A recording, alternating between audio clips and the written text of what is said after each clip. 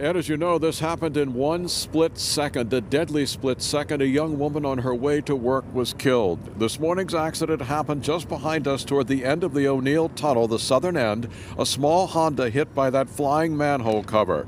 The metal cover, weighing more than 200 pounds, blew out the driver's side windshield, killing the woman driving instantly. Investigators now try to determine how the cover became loose and what hit it or made it flip into the air.